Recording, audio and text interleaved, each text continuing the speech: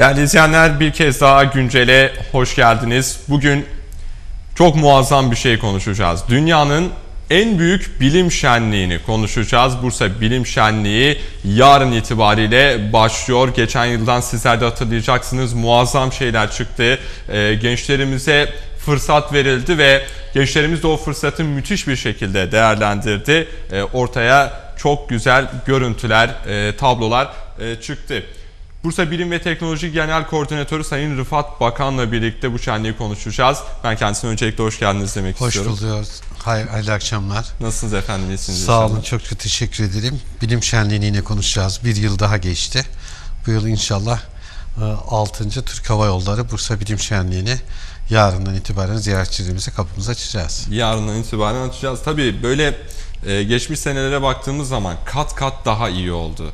Böyle aşamalı olarak merdiven çıktınız diyebiliriz. Öncelikle şöyle bir soru yöneltmek istiyorum. 6. Bursa Bilim Şenliği'nde bir önceki yıldan farklı olarak ne göreceğiz bizler?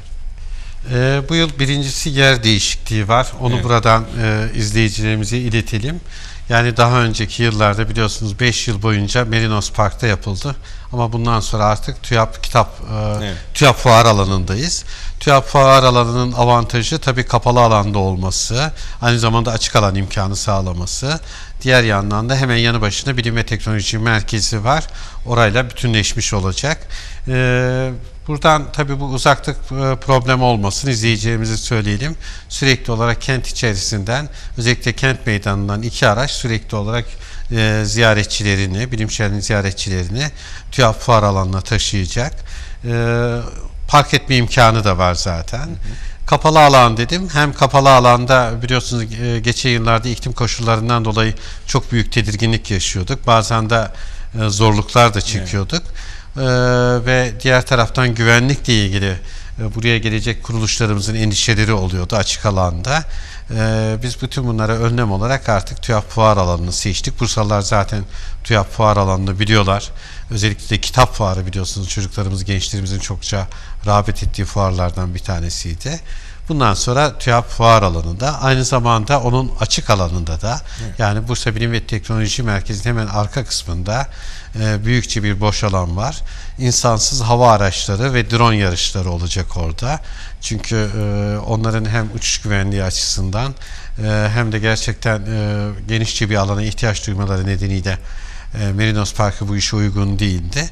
Ama TÜYAP fuar alanı her ikisine birden imkan sağlayacak. E, başka değişiklik derken 3 gündü şimdiye kadar. Yani 5 yıl boyunca Cuma, Cumartesi, Pazar günleri yapılıyordu. Bu yıldan itibaren 4 güne çıktı. Dört güne çıktı. Perşembe, Cuma, Cumartesi, Pazar. Yani yarın başlayacak ve Pazar e, akşamına kadar da devam edecek. Pazar akşamına kadar devam edecek. Başkaca değişiklikler... şunu öğrenmek gerekiyor. Bu proje nasıl oluştu efendim? Yani çok muazzam bir proje. Kimler e, buna vesile oldu? E, Kimler bu imkanı sağladı Bursa'mıza ve tabii Türkiye'ye? Öncelikle tabii yurt dışında bunun benzerleri yapılıyordu. Benzerleri diyorum bakın kesinlikle aynısı değil. Yani bizim ilk e, gerçekten esin kaynağımız Varşova'daki bir bilim pikniğiydi. E, orada mesela bizde şu an 250 civarında stand varken 14 tane stand vardı. Evet. Ee, ve orayı gördüğümde ya biz bunu geliştirirsek bu fikri ve açık alanda yaparsak çok iyi olur diye düşünmüştük. Oradan yola çıktık. Sonra dünyanın başka yerlerindekileri de izledik. Mesela Amerika'da bir tanesine gittim. Öyle birkaç standtan fazlası yoktu. Yine bir parktaydı ve çok az katılım vardı. Ee, biz başladığımızda aslında 10 bin kişiyi hedeflemiştik ilk yıl. 50 bin ziyaretçi geldi. Biz de şaşırdık. Ee, ve sonraki yıllarda bu katlanarak devam etti. Ee, ama şunu yaptık yani bu başarının asıl kaynağı tabii iyi bir ekip var bunun gerisinde çalışan. Hemen hepsi genç ekip. Yani bunun altını çizerek konuşmak istiyorum. Gerçekten gençlerimiz oldukça başarılı e, ve işlerini de çok iyi yapıyorlar. Çok iyi de gözlemliyorlar. Evet. Ve e, onlar tabii o çocuklar, gençler birbirlerine empati yapması daha kolay olduğu için e, bütün o izlenimleriyle beraber tabii anket çalışmaları yapılıyor. Yani her yıl aslında bilim şenliği biter bitmez hemen o yapılmış olan bilim şenliğinin değerlendirmeleri yapılıyor. O değerlendirmelere göre hemen mesela diyelim bu e, 7 Mayıs'ta bitecek. 8 Mayıs'ta sadece tatil geçirecek arkadaşlarımız 9 Mayıs'ta e, tekrar bunun değerlendirmesi başlayacak. Hani Ve Eylül ayında da hemen öbür yılın ilanı başlıyor. Biliyorsunuz bunun içinde bir de proje Evet. yarışması var. Yani başarının sırrı e, birincisi yerel değerlere önem veriliyor. Evrensel değerlerle buluşturuluyor. Geri dönüşler alınıyor. Ama amaç hiçbir zaman unutulmuyor. Yani amaç nedir? Çocuklarımızı, gençlerimizi bilime teşvik etmek, cesaretlendirmek, ben bir mucit olacağım dedirtebilmek çocuklara. Diğer taraftan da e, toplumun genelinde bir bilimsel ve teknolojik farkındalık oluşturabilir miyiz? Çünkü süreçler birbirini izliyor. Yani çocuğu siz teşvik ediyorsunuz ama onun ebeveyni, annesi, babası da ona o konuda destek olmalı ki süreç yürüsün. Yani bizim ana hadi hedef kitlemiz 6 ile 14 yaş ama e, ikinci hedefimiz de toplumun geneli bütün yaş gruplarına hitap eden e, bir yapımız var. E, tabii eksiklerimizi gördükçe bunları tamamlamaya çalıştık. Mesela hep çocuklar çocuklar diyorduk. Baktık ki aileler gelmiyor. Bu defa ailelere hitap etmeye başladık.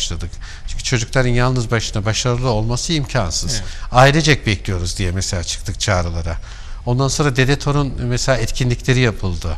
Yani hem akrabalık bağlarını, yakın akraba bağlarını geliştirmek ama bir çocuk için de en değerli vakit annesi babasıyla beraber geçirmiş olduğu vakit. Hele de bu vakiti e, bilim ve teknolojiyle ilgili geçirmişlerse, hele de bir atölyede beraberce e, baba oğul veya anne kız veya anne oğul bir e, ürün üretmişlerse beraber bir şey yapmışlar. Çocukların üzerinde gerçekten çok büyük etkilerin olduğunu gördük. Birincisi tabii e, bu eksikleri görüp de buna göre yapmak. Diğer taraftan çocukların dünyasında en önemli ihtiyaç duydukları şey aslında oyundur. Biz oyun diyoruz ama oyun deyip geçmemek lazım. Bizim şu anki yaptığımız iş ne kadar önemliyse, ciddiyse çocuğun oyunu da onun açısından o kadar önemlidir ve onun gerçekten birçok e, açıdan gelişimine katkı sağlar oyunlar. Bütün biz bu yaptıklarımıza baktığınızda hepsinin içinde bir oy- oyun var, bir eğlence var. Mesela bilim şenliği, bilim ve teknoloji diyorsunuz ama oraya gittiğinizde bir dolu eğlenceler, oyunlar var. Mesela bilim şovları, ondan sonra sahne gösterileri, bilimsel eğlenceler. Ondan sonra diyelim ki belli bir şey sunum yapacaksınız çocuğa bir mesleki anlatacaksınız.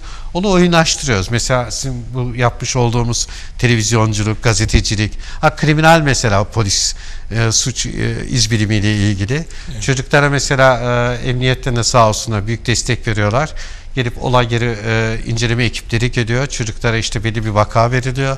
Sonra iz peşine düşüyorlar. izler bulunuyor, tahlil ediliyor. Oradan suçluya gidiyor. Ama çocuk bunu birer oyun olarak yapıyor. Evet. Diğer bilimsel deneyler de öyle. Yani çocuğa aslında siz bunları oyunlaştırıp alabileceği şekilde verdiğinizde çocuk müthiş bir haz duyuyor. Mesela sıradan oyunlardan sıkılırken bir iki oynadıktan sonra bunlar öyle değil. Çünkü bilimin e, gerçekten e, inanılmaz bir e, background'u var ve daldıkça genişleyen ve o hikmet denilen tabii ince bir bilgi bu. Bunun ne kadar sonsuz olduğunu, uçsuz bucaksız olduğunu ve en önemlisi de o hakikat aşkı denen hakikati bulabilmek, o gerçeği anlayabilmek, yani olanı, olmakta olanı, olacak olana dair kafa yormak zaten dünyanın en değerli uğraşlarından bir tanesi. Çocuk o dünyaya doğru daldıktan sonra zaten hiçbir kuşkunuz kalmasın o kesinlikle doğru yolda ilerleyecek, kendi yolunu bu- bulabilecek. En önemlisi de zaten bilimsel düşünebilme, analitik düşünebilme yollarını onlara öğretince o çocukların hem kendilerini kurtarmakta kalmayıp bütün insanlığa faydalı olduğunu görmemiz e, mümkün.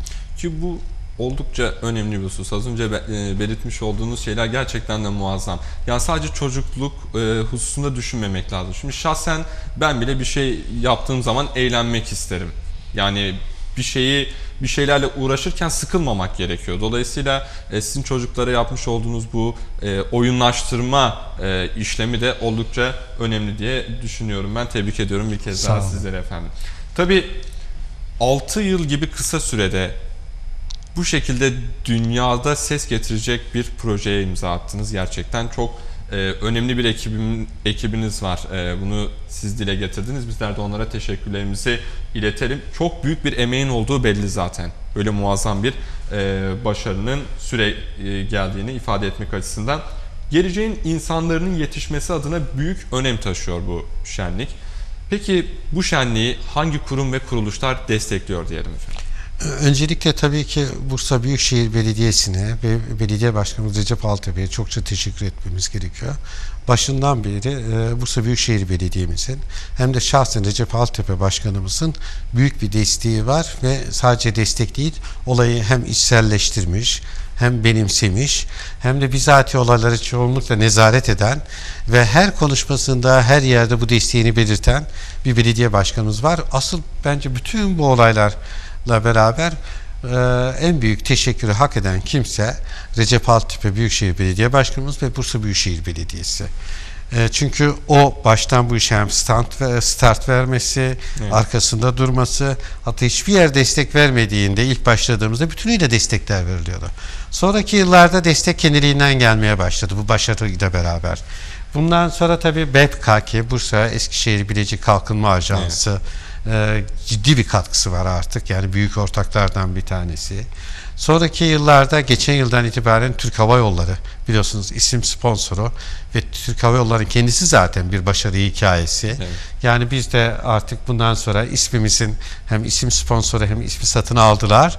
Ee, ama e, Türkiye'nin e, medarı iftiharı gurur kaynağı olan e, böyle bir kuruluşla beraber ismimizin anılması bizim için de aslında oldukça büyük bir şeref. Ee, tabii Türk Hava Yolları'nın bulunması nedeniyle bu yıl çokça büyük katkılar görmeye başladık. Ama bundan önce de katkılar vardı. Devletimizin özellikle gerçekten teknolojik anlamda stratejik kuruluşları vardı. Bunlardan Havelsan, Roketsan, TAİ TUSAŞ, ee, TürkSat mesela ta ilk yıllardan beri bizimle beraber TürkSat'ın yetkililerine ben tümüyle buradan e, gerçekten teşekkür ediyorum. TÜBİTAK'ımızın destekleri oldu. Bu yılda inşallah bugün yine görüşme yaptık. Katkıları olacak.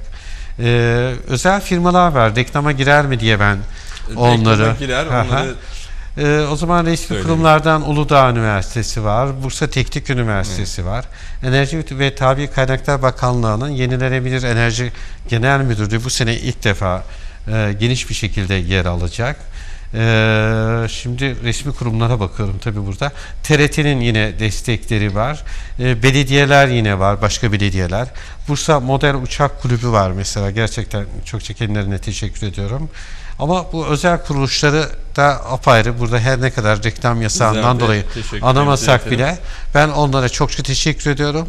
Çünkü işin başından beri bize destek olan e, birçok kuruluş vardı. Buradaki biliyorsunuz hemen her şey ücretsiz. Evet. Yani bunun en önemli şeylerden bir tanesi de bu. Yani bunca hizmet veriliyor ve çok maliyetli de bir iş. Ee, ama bu maliyetin büyük bir kısmını sponsorlar vasıtasıyla sağlanıyor. Biz şimdi isimlerini buradan anamazsak da ben tek tek onlara teşekkür ediyorum. Gerçekten çok büyük e, destek veriyorlar. Bir diğer taraftan da gönüllüler var çalışan tabii o ekipte. 100 123 gönüllü çalışıyor. 123 gönüllü. Ve bu 123 gönüllü 38 ayrı üniversiteden seçilmiş, e, özellikle elenmiş, bu işe uygun olduğuna karar verilmiş kimseler. Bakın yani İşin 38 ehli ayrı insanlar. üniversiteden 123 tane gönüllü. Bir o kadar da tabii e, buradaki personel çalışıyor.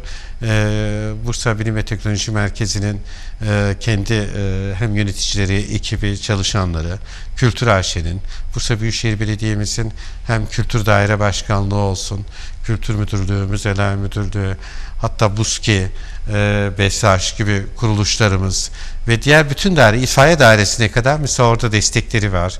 Sağlık Müdürlüğü'ne kadar destekleri var. Yani arkasında aslında baktığınızda çok büyük bir e, desteğin olduğunu e, görüyoruz. Ve bu her yıl artarak devam edecek. Çünkü Türkiye'mizin yeni bir markası, yeni bir gurur kaynağı. Bilimle anılacağız, teknolojiyle anılacağız. Birazdan herhalde konuşacağız. Bir de rekor denemesi var ki. Rekora mesela- isterseniz gelelim. Ee, bu yıl tabii enerji verimliliği ana teması mevcut olacak e, şenlikte. E, aynı zamanda dünya rekoru ile ilgili bir çalışmanız var.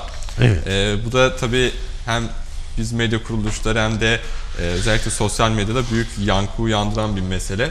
E, dünya rekoru hangi alanda ve nasıl kırılacak diye bir soru yöneltelim size. Şimdi e, daha önce bir rekor var. Şu anda da tescilli Avustralya'ya ait. Aynı anda 2900 kişiyle bilimsel bir deney yapıyorlar ve tescil edilmiş. 2900 Dünya kişi. rekoru onların elinde.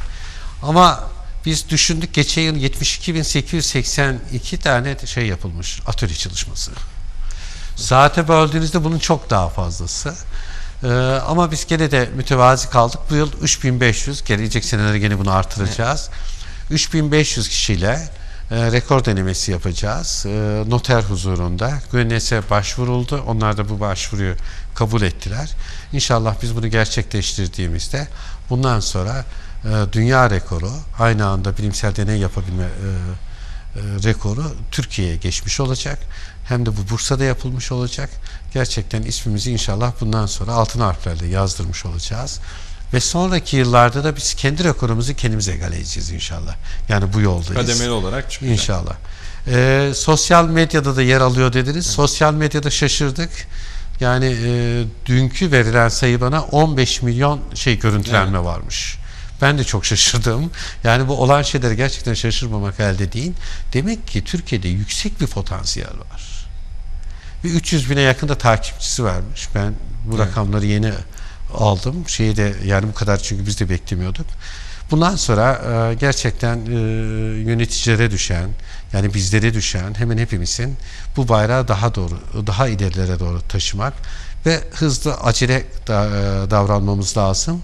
Çünkü e, gelişmiş ülkelerle olan ara, e, aramızdaki farkı süratle tamamlamamız gerekiyor ve bence işin bir yerinden başladık ve güzel de gidiyor. İnşallah bu diğer şehirlerimize de örnek olur. Diğer şehirlerimizde de var artık çalışmalar. Ee, ve Türkiye'miz artık bundan sonra dünyanın önde gelen bilimsel ve teknolojik gelişmelere e, öncülük eden, bakın onları takip eden, onlara yetişen değil mi, öncülük eden, yön veren bir ülke haline geliriz diye bütün umudum bu, düşüncem bu. Aslında büyük bir boşluğu e, doldurdunuz Sayın Koordinatörüm. Yani e, biz zaten ülkece böyle üretmeye aşık bir milletiz. Hani böyle nasıl diyeyim bir şeyleri tamir etmeye, e, bir şeylere uğraşmaya böyle meraklı insanlarız. Abi ne bileyim böyle bir teknolojik alet bile bozulduğunda önce bir babamız yapmaya çalışır.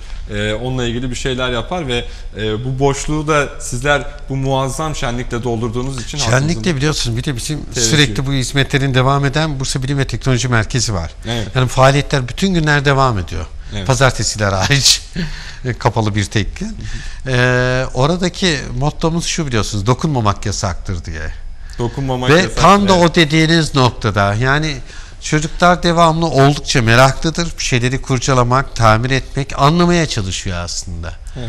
Ama büyüklerimiz de aman dokunma başımıza icat çıkarma derler. Biz tam tersini söylüyoruz. Dokunmak serbest, dokunmamak hatta yasak. Dokunmamak yasak. Ve başımıza icat çıkarın. Başımıza e, çıkardığınız O icatları bize çok güzel. getirin. O slogan nereden çıktı efendim? Valla bir dizi vardı. Orada birisi şey diyordu. TRT'deydi. Başıma icat çıkarma diyordu. Başımıza icat çıkarmayın, 80'ler icat çıkarma. TRT'de. Galiba Evet, evet evet. 80'ler dizisi. Oradan esinlendik. Yani eskiden o lafı hep duyardık biz zaten. Ah biz de tam tersine başımıza icat çıkarın İcat sloganıyla çıkarın, yola evet. çıktık. Ve gerçekten de başımıza icat çıkaran çok kimse var. Evet. Geçen yıl 1366 tane, bu yıl 1120 tane. Bu artarak devam ediyor. Ve biz aman projeleri biraz azaltalım. Çok yüksek geliyor. Çünkü bunu elemesi artık bir çokça büyük emek istiyor. Evet.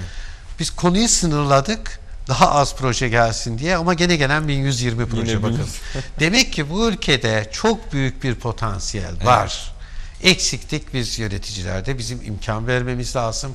Bunu değerlendirmemiz lazım ve diğer süreçlerde de takip etmemiz lazım. Yani bunları ürettikten sonra, icat ettikten sonra onların patentlerini alması, onların birer gerçekten pazarlanabilir ürünler haline getirilmesi, dünya piyasasına sürülmesi. Yani bu aşamalarda da inşallah bundan sonra bu sinerjiyi sürdürüp böylece devam ederiz. Aman büyüklerimiz bundan sonra çocuklara aman dokunma, kurcalama demesinler. Bütün bizim varlık sebebimiz çocuklarımızda, gençlerimizde merak duygusunu tetiklemek. Çünkü her şey merakla başlıyor. Evet. Çünkü me- e, o merak duygusunu tetiklediğinizde bilimsel ve teknolojik anlamda sonra çocuk bir defa bir e, o meraktan keşif dünyasına doğru açılıyor. O keşif dünyasından sonra icatları geliyor. Evet. Ve ondan sonra o icatlar yapılmaya başlıyor. O nedenle hiçbir çocuğumuzu kurcalamayalım. Kırsa da, dökse de, bozsa da cihazları. Ki boza boza Aslında öğreniriz. Biz hepimiz böyle öğrenmedik öyle. mi bazı şeyleri? Zaten başarımızın sırrı belki de burada bizim. Evet. Bize dokunmayın, karışmayın derken burada şey hatta çocuklar bilim merkezine geldiklerinde kırsalar dahi çocuklara bir şey demeyeceksiniz diyoruz. Tekmeleseler bile cihazı. Evet. Çocuk orada özgür olduğunu bilecek. Ben burada biricik kimse benim. Bakın bütün bu yapı benim için kuruldu. Evet. Bütün bu etkinlikler benim için yapılıyor. Bu özgüveni alabilsin. Ve çocuk e, orada o serbestliği gördükten sonra zaten birinci gelişinde davranışları belki agresif olabiliyor. İkinci, üçüncü gelişlerinde büyüklerden çok daha olgun, çok daha düşünceli ve ciddi projeleri olan çocuklar haline gelmeye başladılar. Ve biz bu sonuçları gördük. Ve onları inşallah şimdi yarın başlayacak. Projeler de orada sergilenecek. Birazdan onu da herhalde konuşacağız. Bir de proje yarışması Tabii var. o proje Mesela yarışması- proje sokağında e, gidip onları tek tek geziyorum ben ziyaret ediyorum. Bir tane e, 10 yaşlarında çocuk vardı. Uzun ömürlü ledler yapmıştı. E, çünkü ledlerin biliyorsunuz ısındıkça ömürleri kısalıyor. Evet. Bu e, neredeyse sonsuz ömürlü yaptım diyordu. Nasıl yaptın? Ya bildiğiniz parafin naftalini kullandım diyordu. Soğutucu olarak şey olarak ona kattım. Ama onun anlattıklarına baktığımda bir projesi daha vardı. Bakın onu bile şimdi anlatayım. O kadar bilmiş, o kadar dolu. Yani işte olay o. Yani bütün şeyin özü o yapmaya çalıştığımız o. Önemli olan Ve bir tane değil, bir dolu çocuk var bunları yapan. Ve unutmayın, e, dünyadaki önemli yapılmış icatların birçoğu erken yaşlarında yapmış mucitler tarafından. Evet. İleri yaşlarda insanların icadı gelmiyor. İcat etmiyorlar yani. Ki beyin doluyor artık yani. Böyle, Dolduğundan e, veya gün geçtikçe kendini sınırlıyor, Evet. daha çok duvarları örüyor, e, kendini belli e, yasaların içerisine hapsediyor. Yani bunlar bilimsel yasalar da olabilir, e, diğer e, şeyde normatif yasalar da olabilir. E, ama erken yaşlarda çocuk çok daha özgür. erken yaşta bir de hırs da var. Ee, senin koordinatörün. O var, bir de o şimdi yaşta özgürlük ya bir de ben ben bunu yapamam mesela uğraşamam şeklinde çok ifadeler duyarız. Ben bunu beceremem olmaz. Ya da çok meşgulüz, çok evet, yoğunuz, vakit meşgulüz, ayıramıyoruz. yoğunuz. Ee, Ama çocuklarımızda, gençlerimizde böyle bir şey yok. Böyle bir hırs var. Bunu ben yapabilirim, yapmalıyım. Zaten Yan tarafındaki yaptı ben de falan. gerisi kolay. Evet. Yani onu o özgüveni verebilmek. Ben de bunu yapabilirim. Evet. Benim de söyleyecek sözüm var ve dünyada en önemli gelişmelerden işte şunları şunları ben yapabilirim, yapacağım. Şimdi ne yapıyorlar? Mesela bir sürü yabancılar şimdi artık uzaya gidiyorlar. Uzayda çalışmalar yapılıyor. Orada uzay istasyonları vesaireleri bu Rusya ile başlamıştı. Şeyde SSCB'ydi o zaman. Amerika ile devam etmiş. Şimdi Çin'in çalışmaları var. Ondan sonra şeyde de ESA'nın çalışmaları var. Artık Avrupa'da e, NASA'nın karşılığında onlar da ESA'yı kurdular ya. İşte CERN'de çalışmalar var. Biz neden yapmayalım ki? Biz de insanız. Biz de aynı kapasiteye sahibiz. Öyle değil mi? Yani e, onların bizden farklı bir şeyleri yok. Bir- bir- onların bizden farklıları, onların bu işlere yol açmış olması, bu şeyleri imkan tanımaları. İşte Türkiye'mizde de bu olacak. Yakında biliyorsunuz bir de bizim uzay ve havacılık merkezimiz olacak. Evet, Türkiye'nin tek uzay ve havacılık merkezi Bursa'ya yapılıyor. Yakında inşallah temeli atılacak. Ve ondan sonraki gelişmeleri inşallah büyük bir hayranlıkla izleyeceğiz, destek olacağız. Ve bizim de bundan sonra bir uzay merkezimiz olacak. Ve bunlar nerede oluyor? Bunlar Bursa'da oluyor. Niye Bursa'da oluyor? Çünkü burada iltifat ediliyor da ondan. Evet. Tabii bu proje yarışmasına da gelmek gerekiyor artık. Proje e, aslında yarışma kaç kategoride düzenleniyor? Bunu da eklemiş olalım. E, yarışmaya kaç proje başvurusu yapıldığını söylediniz ama bir kez daha tekrarlayalım isterseniz. Şimdi e, bu yıl yanılmıyorsam üçüncü veya dördüncüsünü yapacağız proje yarışmasını. Bakın Bilim Şenliği'nin altıncısı ama e, şeyin e, proje yarışmasının yanılmıyorsam e, üçüncü veya üçüncüsünü evet yapacağız. E, bunu da şunun için yaptık. Çocuklarımız tamam belli bir kıvama geldiler. Ama bunların projeleri de var. Daha çok proje üretebilirler mi? Daha çok icat yapabilirler mi? Ve bunlar icatları yapsınlar, bize başvursunlar. Biz de bunların arasından en iyilerine ödüller verelim. Yani başımıza icat çıkarın dedik ve o icatları bize getirin. Ee, ve biz bu yarışmayı açtığımızda kedi inanılmaz başvuru oldu işte demin anlattığım gibi. İşte hep e, 1500 civarında binden fazla proje geldi.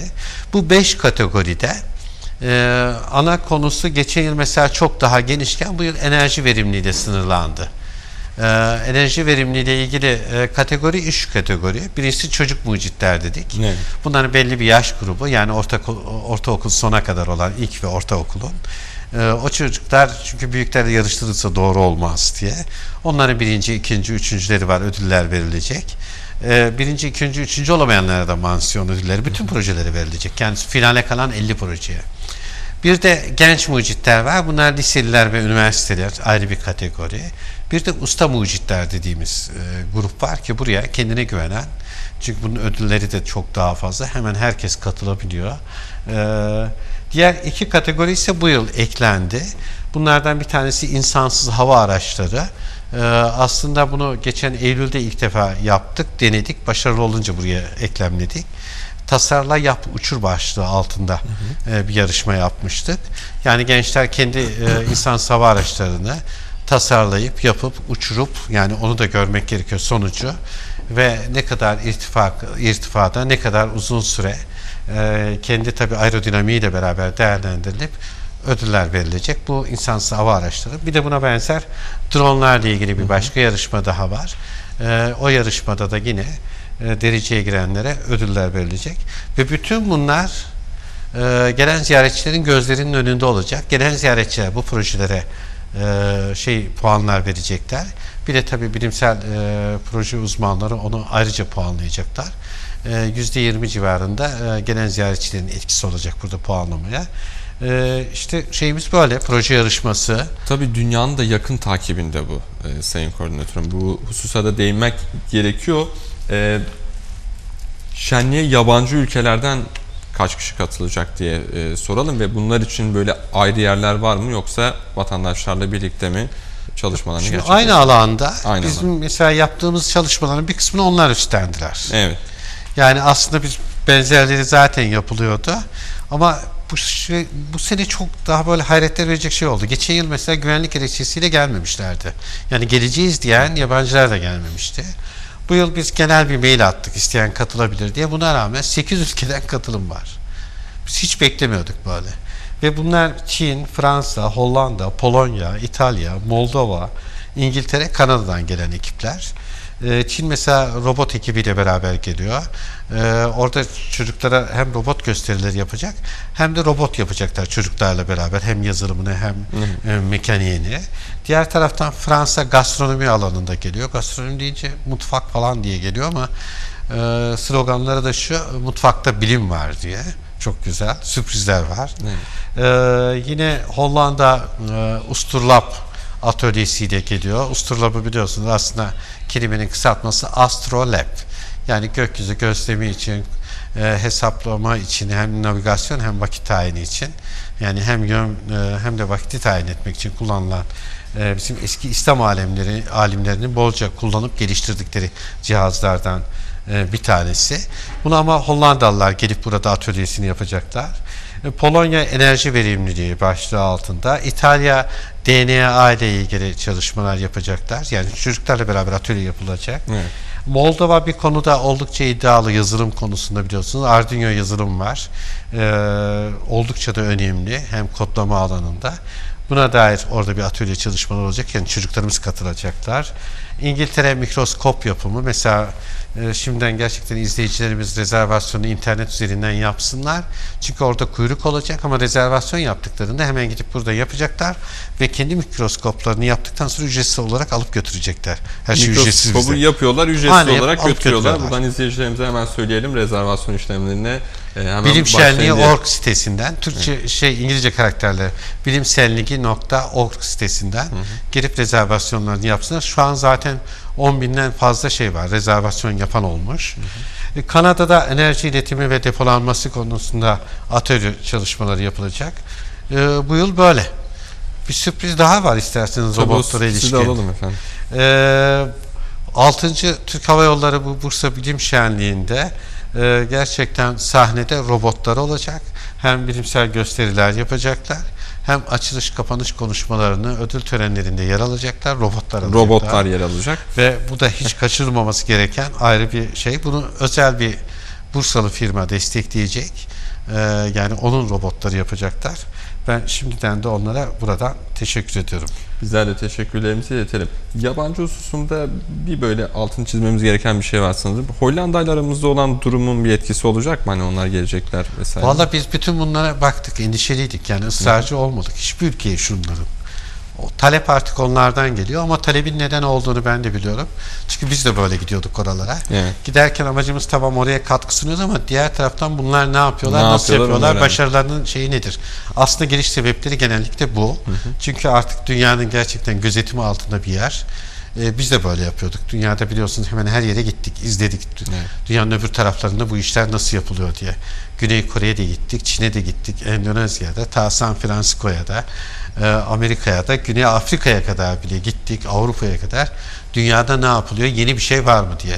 Ve şu anda da e, artık araştırmalarımızı biz azalttık. Çünkü yeni ve değişik bir şey bulamıyoruz. Ama Bursa'da bu var. Bütün dünyada bunu çok iyi biliyor. Sadece bizim e, başarımız bu bilim şenlik e, şenliği içeriğiyle ilgili değil.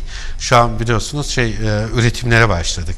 Yani bilim merkezlerine hem sergi hem düzenek üretimine ve oldukça da başarılı burada çalışmalar var ve bu Haziran'dan itibaren dünya bizi çok daha geniş şekilde görecek. Çünkü dünya zirvesi yapılacak ve orada artık Bursa e, BTM Exhibit markasıyla kendi ürünlerini orada sergileyecek. Dünyaya ihraç etmek üzere bu defa. E, Şu anda zaten yurt içinde birçok yere e, şey ürün desteğimiz var. Yani hem üretim hem kiralama e, hem e, satış anlamında yani Türkiye'nin birçok yeri gelişsin diye. Bundan sonra bu hizmeti inşallah dünyaya da açılmış olacağız. İnşallah ondan sonra başımıza işler gelmez Türkiye'de biliyorsunuz. Evet. Yani e, artık e, korkar olduk. Özellikle de bu şeylerde e, e, Tavırları değişti. Rekatsan, Aselsan'da çalışan insanların başına gelenler. Gerçekten bunlar sadece bir e, e, şey değil, bir kuruntu değil. E, Yani bu kadar başarılı şeyler yapıldığında birçok şeyde daha dikkat etmeniz gerekiyor. Dikkat etmemiz gerekiyor. Peki ünlü isimler gelecek mi efendim? Şenliğe. Bazı isimler var. Çok da e, güzel şeyler olacak. Celal Pir bizimle beraber olacak. Evet. Ekranların e, sizler gibi çok tanınan, e, bilinen bir yüzü. Aynı zamanda e, bilim ve teknolojiyle de iç içe birisi. Gençlerle söyleşisi olacak. E, bir kızımız var. Elif Naz Şen Türk Lise öğrencisiydi. Dünya proje yarışmasında birinci olmuştu. O projesini ve başarısını anlatacak. İnternet mahir diye bir fenomen vardı. O gene web sitesi nasıl tanındığını, nasıl e, dünya çapında tanınır hale geldiğini anlatacak. Muhittin Korkmaz biliyorsunuz oyuncu Cem Korkmaz. Onlar yine Evet. çocuklarla beraber olacaklar. E, yani bilimi daha çok sevdirmeye dönük çalışma olacak. E, Hasan Kum var. Kum Mucit diye biliniyor. Birçok icatları var. E, ve büyük de bir e, kendi kurduğu çiftliğinde e, şey atölyesi var. Burada hala icatlarına devam ediyor. Bizim için de güzel bir örnek. O yine aramızda olacak. Ee, ve e, o tecrübelerini paylaşacak gençlerimizle. Yani bu isimler de bizimle beraber e, olacaklar diyorum. Çok tabii önemli isimler. Ee, özellikle dünya çapında projeleri olan isimlerin orada gelip e, anlatmaları yine başarılı isimlerin web tasarım hususunda e, gelip orada gençlerimizle buluşmaları oldukça önemli. Şimdi biz kendi içimize böyle dönecek olursak dünya zaten belli. E, halleri ortada. Bu Bursa'da yaşanan, yapılan bu güzel projenin e, böyle illerimize yayılması hususunda yaptığınız işlemler var mı? Veya dış illerden gelen e, başkanlarımız tabii ki vardır. Bu işi nasıl yaptınız falan diye. Valilerimiz, Evet. devlet yöneticileri, hatta şimdiden rezervasyon çoğu yaptırdı. Bir tabii bilinenler, bilinmeden tebdili kıyafetle gelenler de var. Onları da duyuyoruz. Ama bunlar güzel şeyler. Ee, yine e, Türkiye'nin birçok yerinde bilim şenliği yapılıyor. Hemen hepsine desteğimiz var. Mesela Malatya'da, Antalya'da, Kocaeli'de, Konya'da, İstanbul'un birçok ilçe belediyelerinde ve onların hemen hepsinde gene Bursa var. Hepsinde Bursa var. Aa, Çünkü yani bazen aslında arkadaşlarımız da çok yoruluyor. Mesela burası tam biterken Malatya'dan çağırıyor, Kayseri'den çağırıyor. Başka bir yerlerde şey oluyor. Ama büyük bir özveriyle gene oralara gidilip katkı sunuluyor. Onlar Bursa'ya çağrılıyor, nasıl yapıldığı görülsün diye. Ee, en önemlisi mesela bazı yerlerde bilim şenliği yapılıyor. Bakıyoruz bizim aynı logoyla sadece Bursa'yı kaldırıp ilçelerinin veya illerin isimleri yazılıyor. Evet. Bu da bence çok güzel bir olay. Burada kıskanılacak hiçbir şey yok. Yani taklit edilmek de büyük bir başarıdır. Taklit edilmekle bir tarafa bu iş ne kadar çoğalırsa hayırda yarış bu. Evet. Yani kıskanılacak bir durum yok. Türkiye'mizde daha büyüğü, daha iyisi bence Zaten amaç o değil mi yapılmalı. Bütün amacımız çünkü Türkiye'nin gelişmesi. Türkiye için bütün bunlar yapılıyor. Ve artık gündemimizin de bu tür konulara doğru kayması bizim için en önemli neden. Çünkü enerjimizin çoğunu biz başka alanlara harcıyoruz. Nereye harcıyoruz? Futbola harcıyoruz. Magazine harcıyoruz. Ondan sonra siyasete harcıyoruz vesaire. İnternete Ama bu işlerle ilgilenen birileri de olmalı. Ve enerjimizin çoğunluğu biz ne kadar buraya zaten e, yönlendirebilirsek o kadar başarılı olacağız. Bir şey daha var. Bir de Mangala turnuvası var. E, ondan da bahsedeyim. Mangala bildiğiniz gibi bizim e, atalarımızın bir satrancı, milli bir satranç da diyebiliriz ona. Akıl oyunları gene. E, özel kendine ait e, hem taşları hem de e, kutusu var. E, geçen yıl e, gene burada yapıldı. Bilim şenliğinde değil de büyük bir yarışma yapıldı. Çok da büyük katılım vardı. Bu yıl 6000 öğrencinin katılımıyla bir dev mangala turnuvası yapılacak. Burada da gene dereceye girenlere altın ödülleri var. Yani bu da gene bilim şenliği içerisinde ayrı bir başlık. Çünkü zekanın gelişimi açısından oldukça önemli. E, hem de milli bir e, şeyimiz, e, sporumuz, oyunumuz. Bunu da söylemekte yarar var. Başkaca içerikte ne var diye Tabii, tabii, buyurun içeriği anlatalım. ee, 100 farklı stand var. Bütün öbür standlardan ayrıca atölye standı bunlar. Ve 150 farklı e, bilimsel e, atölye çalışması yapılacak. Yani 150 farklı konuda. Bu 100 standta. Ee, ve onun için ben buradan bir daha söyleyeyim izleyicilerimiz mutlaka rezervasyon yapsınlar. Orada beklememek için. Yani baştan rezervasyon yaparlarsa saatini, gününü o saatte gidip orada hiç beklemeden hemen bu atölye çalışmalarına katılabilirler. Buradan yararlanabilirler. Ürettikleri ürünü de ücretsiz olarak alıp götürebilirler. Böyle e, de bir e, konu var. Yani bunu bilmesinde yarar var. E, ayrıca bu projeler var. Finale kalan proje yarışmasında 50 tane proje ayrı bir yerde proje sokağında değerlendirilecek. Ve bunlar kesinlikle çok değerli. Özellikle iş adamlarımıza, melek yatırımcılara da buradan sesleniyorum. Gelsinler bu projeleri mutlaka görsünler ve bu projelerden satın alacakları, değerlendirecekleri projeler olacak. Onlar gelmeseler başkaları geliyor. Çünkü geçen yılın birincileri projelerini yurt dışından başka kimseler erkenden şey haklarını da aldılar, e, satın aldılar veya beraber çalışıyorlar. Böylesine bir yer. Yeni bir oluşum daha var. Orada bir başka köşede e, şey e, bilim ve teknoloji anlamında kuluçka merkezi, proje üretme merkezi, fikir üretme merkezi. E, birkaç gündür Bursa'da çalışıyorlardı zaten. Bunlar çeşitli üniversitelerden gruplar. Onlar da geliştirmiş oldukları, olgunlaştırdıkları projeleri, e, 10 ayrı projeleri var. Üzerinde ayrı ayrı gruplar çalışıyor. Bir de bunlar sergilenmiş olacak. Başkaca simülasyonlar var. Çocuklarımız buradan ücretsiz yararlanabilirler. Sahnede yine gösteriler olacak. Hem müzik grupları hem bilimsel şovlar, e, eğlenceler olacak. Yani bunlardan da yararlanmaları gelen ziyaretçilerin e, mümkün. Şimdilik görebildiğim Sponsorun bu. bir şeyi var mı Sayın Koordinatörüm? Sponsor da tabii orada e, bir şeyler yapacaktır. Şimdi isimleri ben Yolları. ama dolaylı olarak söyleyeyim. Mesela bankanın bir tanesi gelecek matematik alanında çok güzel çalışmalar yapacak orada. Evet. Diğer bir bankamız e, öğretmen akademisi projesi var. O onunla gelecek. Yine bir başka şeyimiz Da Vinci'den, e, Da Vinci'nin projelerinden bahsedecek var. E, Yine elektronik firmaları var orada gelip atölye çalışmalarına sponsor olacak. Hatta malzemeleri veren bizzat yapan. Bursa'nın bazı markaları var. Onlar gelip orada hem sponsor olup hem kendilerini dolayısıyla tanıtmış olacaklar. Yine yabancı firmalar var buraya destek veren. Onlar e, belli başlı alanlardaki bu atölyeleri destekliyorlar. E, yine yazılım şirketleri var. E, bunu çocuklara anlatacaklar. E, yine çocuk dergilerinin mesela TRT Çocuk Dergisi bu alanda var. TÜBİTAK yine e, sağ olsun bugün e, gönderdi herhalde yarın edecek. Çokça promosyonu var. E, onları dağıtacak. Hem çocuk dergileri hem de e, şeyler ne deniyor ona? Çocukların giymiş olduğu formalar var ya TÜBİTAK Evet. formaları dağıtılacak. E, Popüler Science dergisi yine var burada baktığımda. Yine Bootcamp BTSO Eğitim Vakfı'nın burada e, belli başlı atölye çalışmaları olacak. Orada mesela e, çocuklar hatta büyükler ben çok daha seviyorum burada. E, kendi ürünlerini tasarlayıp hemen yapabilecekler. Çünkü orada küçük torna makineleri var, e, matkaplar vesaireler var. Yani ürününüzü kendiniz yapıp bunu hemen e, alıp götürebiliyorsunuz. Model uçak yapım atölyesi var. Şimdi aklıma gelenleri ben söylüyorum. Model uçak yapım atölyesinde çocuklarımız gelip orada malzemeler gene ücretsiz. E, eğitmenlerin gözetiminde kendi model uçaklarını yapacaklar ve sonra dışarı çıkıp bunların denemelerini yapacaklar. Yani Mekanik var olarak. var Efendim. Ee, yani sonu yok tabi. Sonu yok. Meslek teknik liseleri var. Ee, onlar e, yani ta ilk yıldan beri aslında en verim aldığımız grup bizim bu mesleki ve teknik e, liseler. Onlar birçok çalışmayı yapıyorlar. Mesela ilk yılda vardı çok gururlanmıştım. Çocuklara elektronik devre nasıl yapılır? Bizzat çocuklara neyim yaptırarak gösteriyorlardı. Recep Başkanımızın da öyle bir fotoğraf var. Çocuklarla beraber lehim yapıyor. Bunlar müthiş şeyler. Yani çocuk oradan o ürünü ilk defa yapıyor. Mesela bir tane e, baba öyle diyordu. Çocuğum burada radyo yaptı diyordu. Bilim şenliğinde o ilk yıllar herhalde.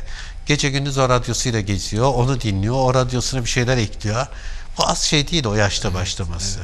Ve göreceksiniz e, gerçekten yakın zamanda e, bunların meyvelerini görmeye başlayacağız. Tabii burada aslında Görünürde bunlar yapılıyor ama diğer taraftan bizim sürekli gözetim var, denetim var. Yeni bir eğitim modeli oluşturabilir miyiz? Evet. Ki belli alanlarda bunu sanki başardığımızı görüyorum. Demek ki eğer bu bizim metotlar biraz daha geliştirilirse bizim insanlarımız da buna gönüllü olarak bakın geliyorlar buraya.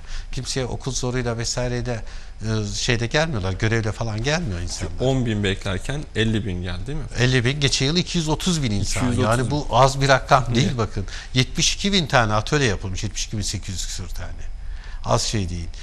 Demek ki burada iyi bir metot var. Bu biraz daha e, gözlenip, bilimsel olarak araştırılıp eğitim metodumuzun tümüyle değişmesi lazım. Amerika'dan bir video vardı, geçen gün gördüm. E, bir mahkeme salonu. Orada e, yine bir kişi e, Amerikan eğitim sistemini yargılıyordu. Bakın diyordu bugünkü telefonlar geçen yıl diyor 100 yıldaki fotoğraftaki telefonlar böyleydi diyor. Ahizeler var ya çift ahize. Bugün bunu kullanıyoruz diyor. Geçen yıllardaki o zaman at arabaları vardı diyor.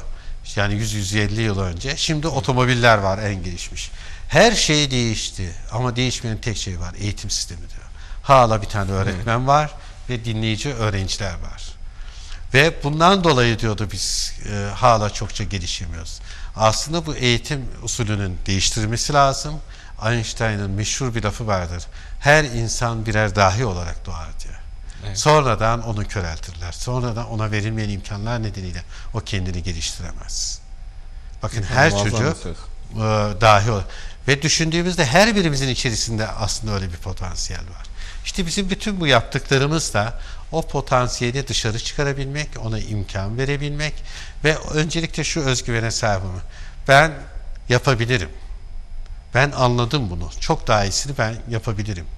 Bana imkan verilmesi lazım.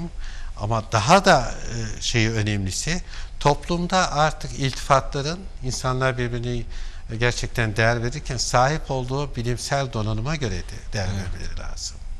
Eskiden öğretmenlerimize biliyorsun ne kadar saygındı. Toplumun en saygın kimseleri bilginlerdi. Yeniden o hale gelmek. Yani insanlarımızın marifeti olmalı ve bu marifetlere iltifat edilmeli. Yani bunlar çok kolay olan şeyler de değil. Yani kısa yoldan yok zengin olanlar makam mülkü elde edip de Yani vasıfsız, oradan iltifat değil. İltifat ne edilmeliymiş? Marifete edilmeli. Vasıfsız insanımız biraz çoğaldı sanki. Böyle bir 5 Yok 6 biz yapmışızdır. Yani onları suçlamıyoruz. Evet. Yani bu bizim eğitim sistemimizden, bu belki bizim yönetim sistemimizden, bu belki biz yöneticilerin eksikliğindendir. Onlar öyle olduysa. Hani hukukta bir şey vardır. Suçlu çocuk diye bir kavram yoktur biliyorsunuz. Evet. Suça sürüklenen çocuk vardır. Yani toplum aslında orada sorumludur. Çocuk suçlu olmaz çünkü.